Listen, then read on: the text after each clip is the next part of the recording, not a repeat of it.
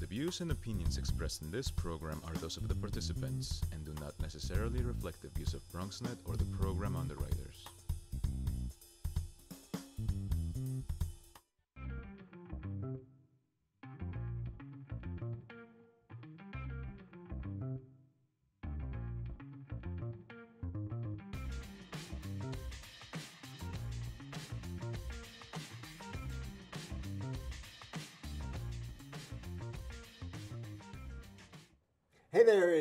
The Bronx Buzz. This is the program where we talk to Bronx journalists, Bronx photographers, in some cases editors, and uh, we try to get you inside what they're thinking and talking and uh, uh, considering when they do their uh, news stories that you end up reading and experiencing, whether it be through newspapers themselves or uh, online, et cetera, et cetera. And uh, this evening we have two great guests. One is kind of a two for one because he's a photographer and a writer, and the other's an editor. So we've got the whole expanse covered for you uh, this evening. Uh, my buddy, to uh, my pleasure to welcome my buddy Julius Constantine Motal. Nice to have you with us. Thanks for having me Julius back. is with the award-winning Riverdale Press. There we go. And um, uh, Julius is kind of the two-in-one package that I was talking about because he's a photographer and also a journalist. So you'll see some of his photos about whatever it is on other people's work, as well as you will see photos that he takes as a photojournalist when he writes a story. Nice to have you with us again. Thank you for having me back. Talk to me a little bit about, um, just so people who are unfamiliar with your For work, about your background. Were you a photographer first or a writer and journalist first? Both kind of at the same time. Well, that really answers the Yeah. question. Um, Yeah. uh, Give a little background about how you got started. And what, yeah, for sure. I went to what was then known as the CUNY Graduate School of Journalism uh, for my master's. Yes, they just changed They the just name. changed the name to the Newmark Graduate Right, School of Journalism. right, right. Uh, I graduated from there in 2014, uh, and shortly after graduating, I'd moved to Istanbul, where I was for about two years. Um, so I got my start in foreign reporting, and for almost about the past year and a half, I've been the uh, photographer, the sole photographer for the Riverdale Press. Um, do you like doing one half more than the other? Like you say, gee, they sent me out to just take some pictures at an event. I love that. Or do you say, yeah, I don't want to do that. I'd rather write the story. Or is it again that, that same perfect it's, balance? It's kind of a balance. I mean, since I'm solely, I'm mainly responsible for taking pictures for all the reporter stories, I have the benefit in between those assignments to kind of work on my own sort of long form stories.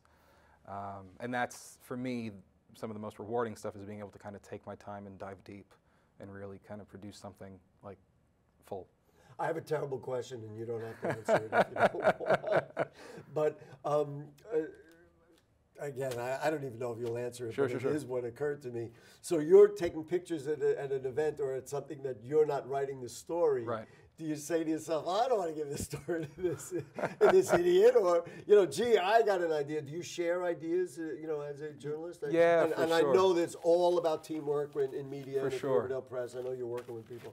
That's why I thought it was a terrible question. No, no, no. It's, it's no. It's actually a good question because we're a real, we're a lean team. It's four reporters and myself essentially, and it's most often the case that I'm out with them in the field, reporting and taking pictures, and I'm collaborating with them on questions as reporter's interviewing. I'll chime in if I feel that something's not being asked because I have I have that training.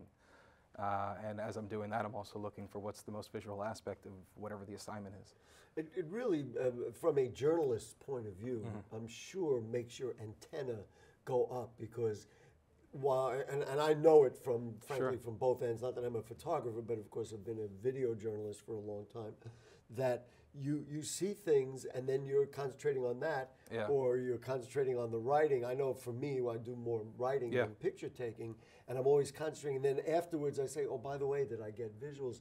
Yeah. You probably got both wheels spinning. Yeah, I got both wheels spinning. I mean, it is it is hard to do both at the same time, which is you know why a lot of people specialize. You have people who are just writers, people who are just photographers. Um, but you know, as I'm taking pictures and I'm listening to things, uh, you know, sometimes I, I realize something and I'll you know say to the reporter quietly, like you know maybe we Check should this ask out, this. yeah. Right. Yeah. Um, now, now this story, um, uh, and I'm going to mispronounce it. Um, this Ro- Rohingya, Rohingya. Rohingya. Yeah. Um, now, We have some photographs because you are just a wonderful photographer. Do we have photographs of this, or should we talk about this first and wait till that comes up? We can talk about this first. The photos I brought So from. you yeah. received honorable mention uh, from the New York Press Awards for this story that you did in November of last year, yeah. of last year. Excuse me. And um, so why don't you tell us all about this? So what had happened was, I think it was towards the end of August, uh, one of the reporters had mentioned that there was this small rally happening uh, by the monument in Riverdale uh, about the Rohingya crisis, trying to raise awareness. And I, I didn't- What, what if many people might not know Sure. what is the Rohingya crisis? Sure. So, I mean, it was a major international news item last year. The Rohingya are an ethnic Muslim minority living in uh, Myanmar and following uh, what's been called an ethnic cleansing last summer. Hundreds of thousands of them have fled Myanmar for neighboring Bangladesh uh, seeking refuge. Um, so there was a small rally that was happening, and when I got there, there were only about like like six to seven people, and I thought, I th- there doesn't seem to be much here, just in terms of people who had shown up. But I thought, here's a real uh, opportunity to try to tell the story from a local angle, because in my if, if I could have it, you know, fully my way, I, if I had the resources and the time, I would be in Bangladesh reporting out the story like on the front lines of the crisis. But Sure. I'm here, so I figured, how can I tell that story over here and through the lens of the woman, this professor at Manhattan College, who had organized the protest and has been really trying to raise awareness about it. It was through her lens that I was able to tell the story of the crisis through her perspective, and I talked to Now, a are whole bunch of people. Are these her photos that are here? Uh, so the original photo from I don't know if we can from the assignment is was that down here. That was the first rally. I see at the bottom Um, of the these two photos were generously provided by uh, BRAC USA, which is the U.S. outpost of this large or- organization called BRAC, which is one of the largest NGOs operating in Bangladesh. Did, you know, I really want to get the time to Sure. show some photos, but when you wrote it, did you say to yourself, you know what, this is a really good piece? Or did, were you like, oh my goodness, honorable mention, how did, why did they choose this one? No, I, I mean, I definitely felt good about it uh, once I filed it, and uh, when, when I filed it to my editor, he came back to me and said I, I, I couldn't find anything to cut. Really? Yeah. So then, you knew you So onto I. I figured I'd probably. And, and we know Michael is tough as nails. So, uh, Michael Hinman, of course, we're talking about. All right, listen, I don't want to run out of time, and I want to show people these sure. beautiful, wonderful photographs. So we're going to do that. Um, we could talk forever about even this one story. So here we go. Um, uh, Julius uh, Constantine Motal from the Riverdale Press. Let's show some pictures. What do you got? What is this? Who is this?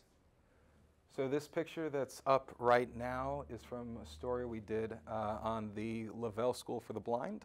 Okay. Uh, they had reached out. They do an art fair every year where their students, who goes without saying, are blind, create art pieces, right? So, you know, usually when you go to a gallery or a museum or whatever, it's you know, there's distance between you and the art. You can't touch the art. But here it's all about But here it's all about touch. And this photograph, you literally captured that. That here is a, uh uh sight impaired uh, youngster Yep. who uh, Student is- at the school. as the whole idea is. The Right. whole point is touching the art. All right, I, you know I could spend a lifetime on a photo like that. Okay, well, but we got to move on. That's okay. What's the next picture? Let's see the next one and this one. So this was from the student walkout uh, in March uh, Uh, over- following the Parkland massacre. This, Right. These were Bronx science students uh, who had amassed in uh, Harris Field, uh, and this is one of the kids with the megaphone. When you took this picture, were you aware? Because I know a photographer wants to get good light. You want to be on the other angle so you can. Yeah, get yeah, yeah. Were you aware that you were getting something this dramatic, or was Yeah. it one of those that you looked like this was a deliberate thing? This, I mean, it was. I mean, f- for me visually, it was definitely deliberate. I mean, we also had the. I also had the benefit that day of like amazing light uh, in Well, but sometimes too much light is. is No, sure. I mean, it could blow it out, but that I don't know what happened that day, but I had no complaints. Wow. It, it, I mean, it tells the story. Again, photojournalism tells a story. Let's see what else you got. So this. oh, wow, look at this. Yeah. So Uh, this. By the way, I have not seen any of these photos Right. beforehand, so that's why I'm reacting viscerally to anything I see. So this was from a story a reporter and I uh, had worked on about the senior prom at the I think it's called the Park Gardens um, Rehab and Nursing Center, uh, and they essentially had brought together uh, folks who were living there with incoming seniors at a local high school, and so it was like sort of a senior senior prom. Uh, but these were the prom king and queen from Park Gardens uh, who were dancing together. Because and they're both dressed in white, I guess, for different reasons. I guess so. I'm not sure. Tremendous, tremendous, tremendous. All right, keep going. What do we got? So th- this was also from uh, the walkout day earlier this year. The same Ah, story as the previous. Julia's playing with that lighting. and this was as um, students were uh, uh, chanting and like reading down the list of names and talking about what the day was about, um, and they were sort of like quietly, contemplatively listening. I, I ask many photographers this question, and I'm curious how you feel about it. When Sure. you take them, Yeah. are you, especially now, I guess it's a little easier because you have digital photography and you can see it. Are you aware of how good the photo is, or like you say, "Ooh, I got a good one," or sometimes you go back and say, "Wow, I didn't realize it. That really turned out well." Or is it a Yeah, I, it's it's it's a little bit of column A, a little bit of column B. I'm I'm usually re- reacting to like a gesture or a moment or a look or something, um, uh, and I kind of compose around that. So I mean, with this one, when I looked on the back of the camera later, I'm like, I, all right, I think I got a good one.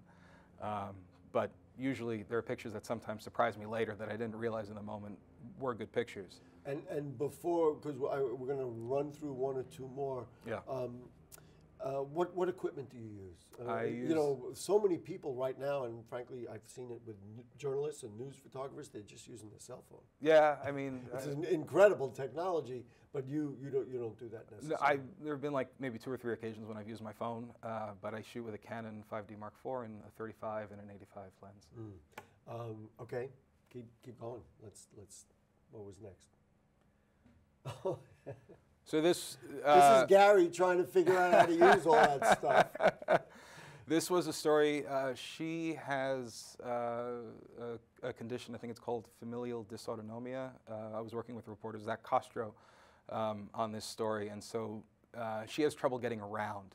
Uh, but she had mentioned that she loves exercising, and uh, so we went. She lives up at Skyview. We went into the gym there, and she was just showing me stuff that I did not expect she could do, uh, including doing the leg lifts, and she was doing push-ups and pull-downs. It was kind And- of amazing to see. What makes it a remarkable photo, of course, is the fact that she's fully dressed doing them, but Right. also her color.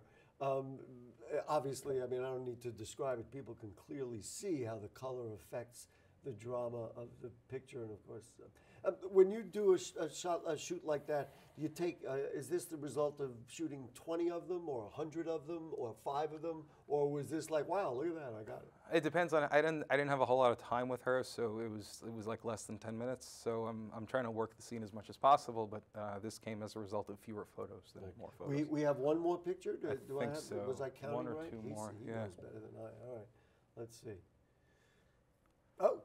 Yeah. what happened here? Whoever was in the picture left.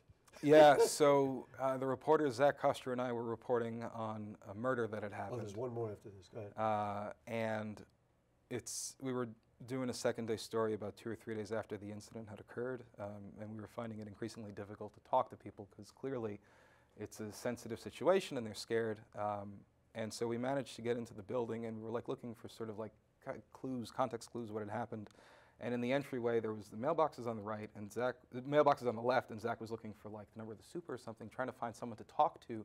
And on the right, I saw this this handprint. Now, do we think that this was part, like something that the, the police got or they we missed? couldn't get confirmation either way, um, but it it spoke to what had happened. I, I, you know what I happen to love about it, and they're telling me we got to wrap it up, and I do want to bring Patrick Rocchio from the Bronx Times on, but the, the the smaller thing on the bottom left, I don't know if we can still get that. This thing, this looks like a footprint in and of itself. It's almost like a handprint on top of a footprint. All right, we got one more, and then we're throwing Julius out of there. Thank you. What do we got? Thank you. What do we got? One more? They told me. Oh, so there was a fire at the Greystone building uh, a Hmm. couple of months ago, and by the time we had arrived, it was already it was already out, and so we were trying to figure out like you know what can we do, and so I said to Zach, who's a reporter on the story, I said let's just try to get in the building, and so we walked up to the apartment where the fire had started. No one was hurt, no one had died, um, but I just I looked in the front door. and there was that box, That that, burned out box that said mementos. mementos. Oh my goodness. And I said, there's my picture. Julius, I really hope you work here in the Bronx for a very long time because it's a joy to see your work and Thank to you. read your work. And um, uh, applause from all of us here. You I, I, don't. I don't even know what, and, and getting me to a point where I don't know what to say. That's pretty good. um, but but thank you so much, and For thank sure. you for the great work. Uh, you'll Thank come you. back and show us more. For sure. I mean, great pictures, a great uh, award-winning journalist, and, um, and, a, and a good guy too. Thank, Thank you so much. Constantine Motal from the Riverdale Press. We're going to take a break. We're going to be back. We're going to change gears. The assignment editor at the um, uh, Bronx Times and I will be moderating together a political forum this Sunday on City Island. We're going to get you inside what that's all about. Don't go away. Sure, I look cute now, but when my owner lost his job, it was rough. I was living on the street, and one night, me and this Cocker Spaniel got into it so bad, I wound up looking like an ice cream cone. I cried a little bit, but thankfully I got rescued, so I'm running, I'm jumping, all back to my old self. And I'm ready to give unconditional love, even if you put a lampshade on my head.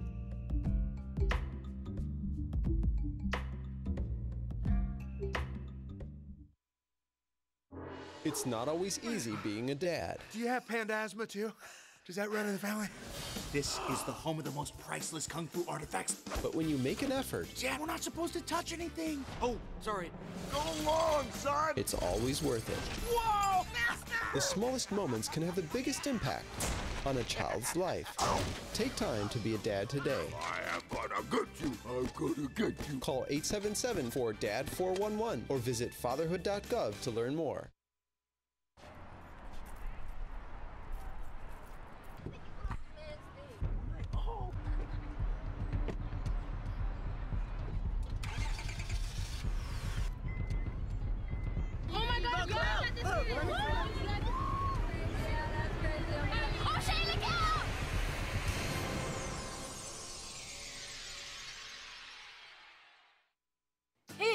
This is Tess from Vivo's Do It Yourselfie, where we recreate the hottest looks from today's biggest music videos. After cleaning out our closet, we have a lot of clothes we don't wear anymore. Like this old t shirt. It's not garbage, it's actually a brand new rug.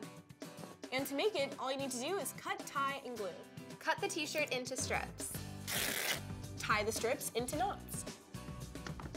and glue the knots to the bath mat. I love it. Give your garbage another life. And recycle. All right, we've switched gears, and uh, now we're going to.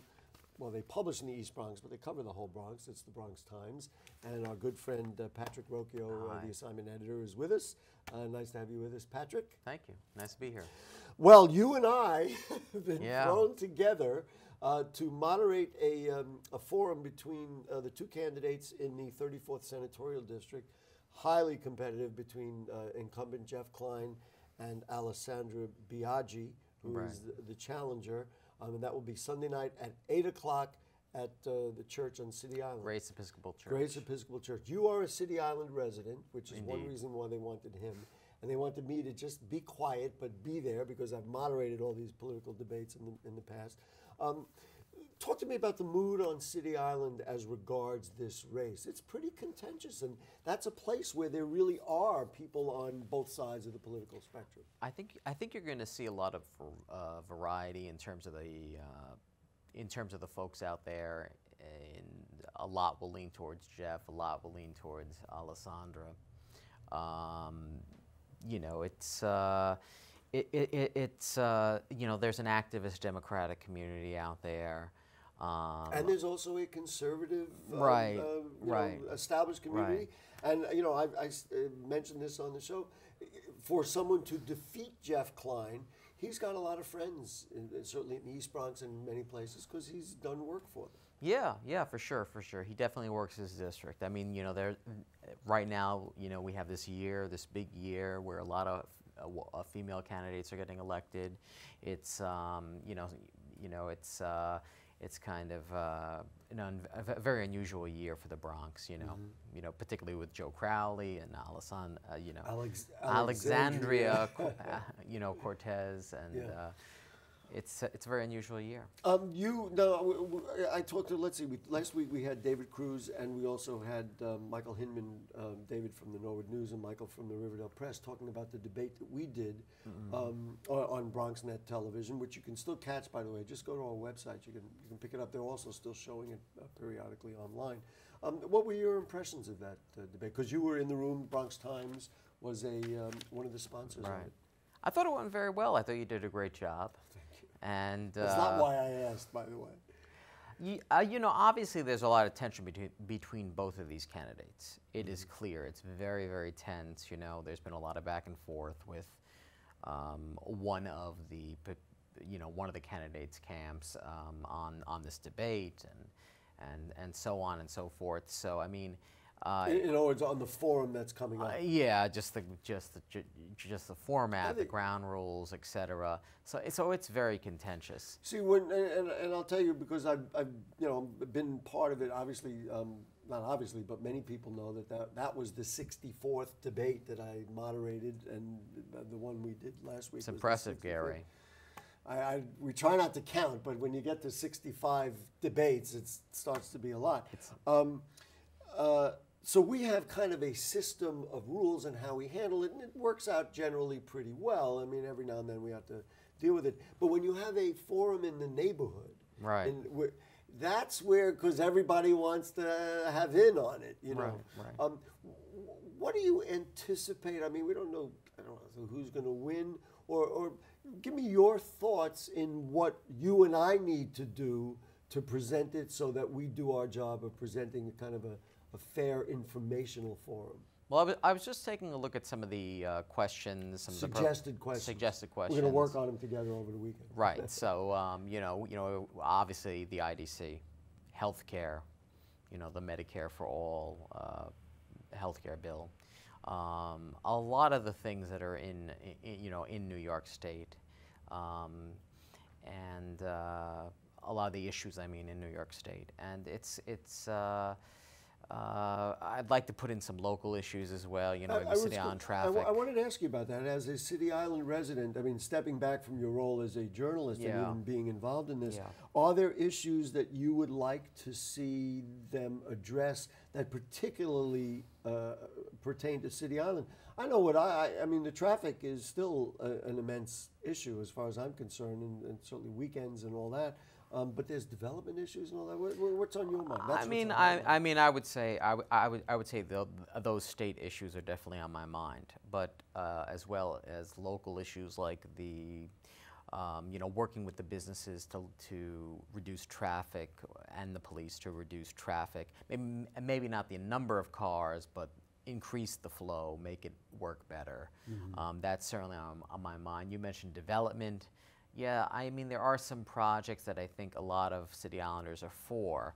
So I don't know if development's really that big of an issue, but uh, it, it, it, there are also some people who are not too happy about that. But Mhm. Well, and empty storefronts. I mean, Empty storefronts, business storefront- development. and and there's a real balance there because if you put more stuff in there, you're going to get, and we want business and you want to have more, but then you're going to bring in more cars. Right. I mean, this was the right. balance. I was, as you know, involved in that via Community Day when you know they really tried to sp- spruce up downtown City Island. Um, and there is that balance. You say, well, wait a minute, we've got some empty stores. We want to fill them up. We want to make it a destination for people. On the other hand, we don't want all these people here. We can't move around. You know? right, it, you know, it's a delicate balance you got to strike. Mhm. I mean, you, you looking forward to it? Um, yeah, With you dread? know, with a little bit of dread, you know, after after after all of the back and forth, and not so much with the committee hosting it, but with, you know, one of the candidates. Uh, I really wish uh, I really wish people could, would just get in there, debate, and then be done with it. My goal and my goal when we do it on television and my goal for Sunday night is always the same. Number one, give people a chance to hear what the candidates have to say. That that is what I'm always thinking about, so that they can make a, a, an informed decision. That's really what it's about. Um, and and the same thing applies here. What I also would like, and you mentioned it, healthcare. What are you going to do to, to address the healthcare issues? What are you going to do? And let people just see that. If we can get to that, I think we'll have done a you know a, good job. We're going to try. We're, we are definitely going to try. Uh, I hope my neighbors are happy with me afterwards. That's all I can that's say. That's right. You got. I can go to the other side. of Yeah, the you can, go you, you can go home, and I gotta I gotta live with them. Um, you were uh, changing gears here. You Yeah. um, attended the launch of the uh, the new um, Soundview ferry. I was on the maiden voyage. You were on the maiden voyage. Um, all reports that I've heard and seen are that this has been a, um, uh, this is really a good innovation and something good for the Bronx. Oh, it is it is marvelous. It is Really? marvelous. I mean, uh, getting to Wall Street in 45 minutes, or For uh, let's just interject for people from Soundview, what would they have to do to take a bus to a I don't- train? I don't know- I don't know how would you do it. six, which is a local, and then try and switch downtown to get an express. You're looking at, at uh, an hour and fifteen minutes. sure, sure, sure. The only thing faster is a helicopter. Yeah, we, we don't have those just yet. but um, you know the, the the views are amazing, and uh, the I think if, if there are more things like this, like those four Metro North stations that are supposed to come to the Bronx, like um, other transportation options, uh, this area uh, of the eastern part East of the Bronx. Bronx could really could really grow and become a much more um, vibrant place because I think people want to get into Manhattan to get to those jobs. They want to get into Manhattan for entertainment. You know, I think, and, and this comes up in the dialogue, and we've, we've had it on this show and on, on uh, Bronx Talk as well, the, the dialogue about NYCHA. So you say, well, look, we know that, you know, there are all these, the lead paint and the, the, there's water cascading as we speak down, uh, down in, in. I mean, it's completely inexcusable. But the human cost to those things, and just maybe to a lesser degree, but the human cost of people who want to be successful, to get down to Wall Street and, and achieve in the financial area, and you're asking them an hour and 15 minutes by subway, and, and they're burdened, and, and on a summer day they're hot, and on a winter day they're cold, or they're sitting on the subway with a winter coat on.